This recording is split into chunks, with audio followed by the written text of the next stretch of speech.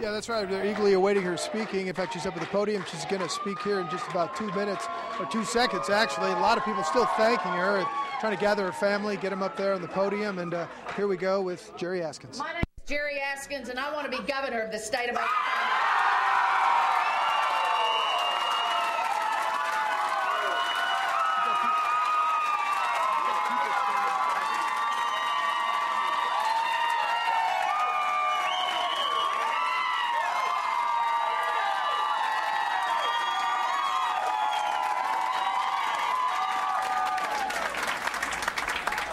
You know, it's been a long night.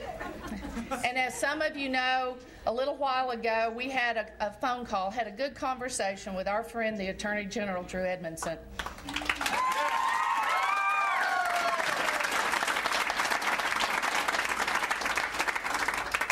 Drew and I are kind of numbers crunchers, and as we talked about it, uh, we know that with the precincts that are out, we kind of know where they are, and we know that the 2,000 vote margin that's there right now could get a little bit smaller.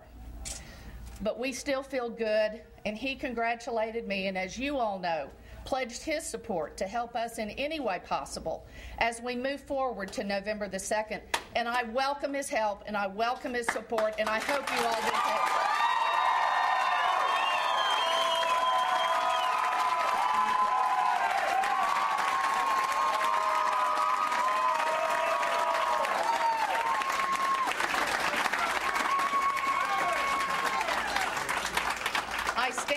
Tonight.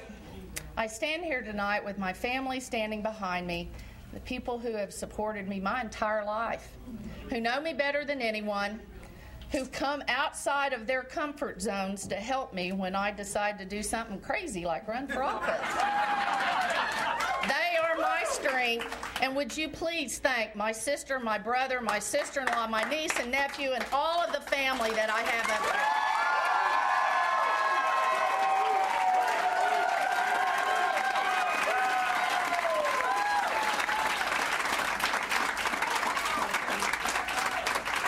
Because when you did that, you thanked our parents. And we are here tonight because our parents raised us to support each other and to believe in the people of Oklahoma and to believe that no matter where you are, what position you have, you have an opportunity to help someone who cannot help themselves. And that's why I want to be your governor.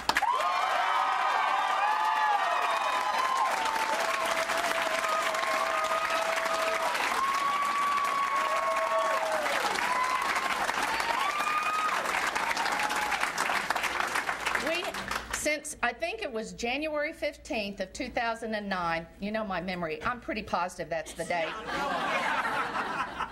when we announced that we were running for governor, and quite frankly, many of you will know that surprised some people because there were people who did not think we would do that. But I'm here to tell you it was not a decision that was made easily, and it was not a decision that was made lightly. It was made because we believe that we have an opportunity to win this election in November. We have had fantastic people around us. I have a wonderful staff.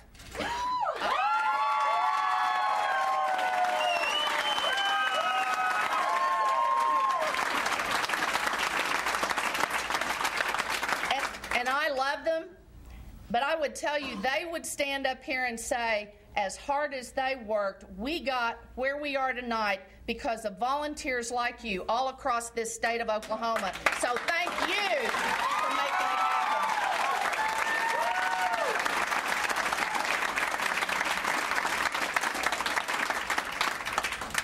Somebody said, What's next? And I said, Well, I started campaigning about 15 minutes ago.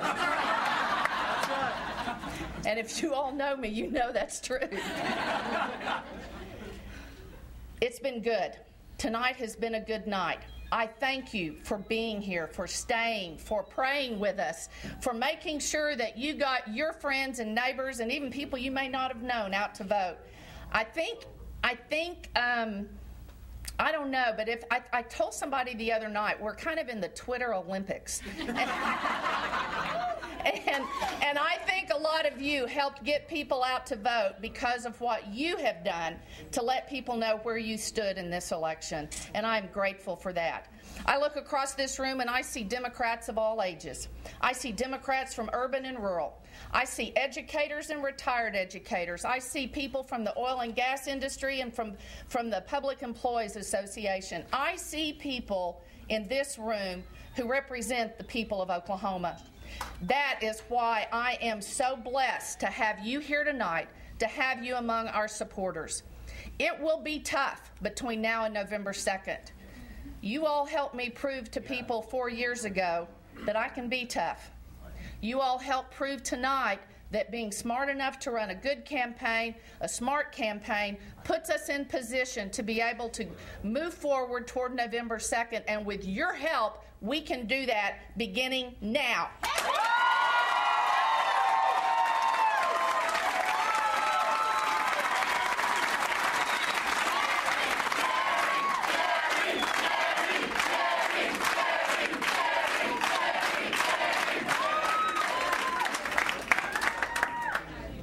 You know, times times are tough in Oklahoma, and there are a lot of people who are hurting. It's our job to listen to them. It is our job to figure out how we can help them lift themselves up. It is our responsibility to figure out how we can bring jobs into the state of Oklahoma, and it's our responsibility to educate the children of Oklahoma to be prepared to fill those jobs. That's what we'll do as governor of this state.